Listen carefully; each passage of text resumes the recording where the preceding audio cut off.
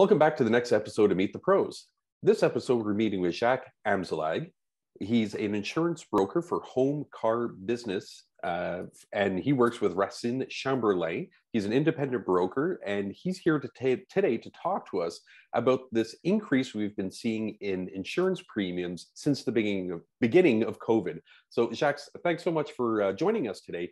Please try to explain to us why are our premiums going up? So thank you for having me, Paul. And it's a great question.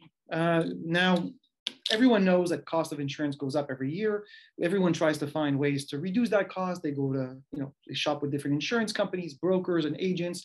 But at the end of the day, what we've been seeing since COVID, more than prior, has been a steeper rise in the overall cost of insurance for single family dwellings, secondary residences, uh, investment properties such as duplex, triplexes, all the way up to commercial properties such as the multi-residentials, semi-commercials, and industrial properties themselves. Now, the cost of insurance is really based on several different key factors in the underwriting guidelines of the insurance companies. Now, those guidelines can change from one company to the next, but at the end of the day, they all say they all stay pretty much stable. However, to facilitate that entire perspective, let's talk about the most highest cause to increase elements. The first is, and has always been, do you have claims? Well, yes or no will impact your file. The second is, well, does someone in a like category of the insurance segment, such as yourself, have claims? Now, what do I mean by that? I mean, do people who have similar homes in a similar area have had claims over the last couple of years? Because don't forget that the insurance industry is based on the law of large numbers. Premiums of the many are meant to compensate the losses of the few.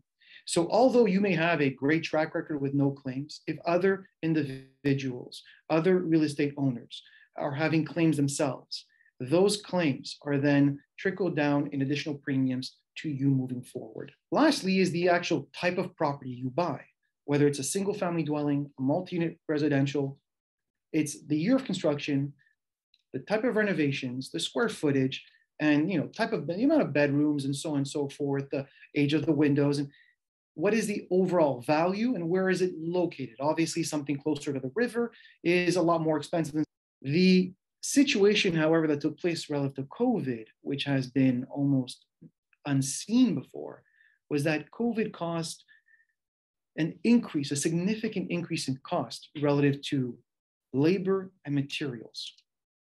Now why is that important in the insurance industry well, like anything else, the insurance industry is also tied to the to the you know, to, to the construction.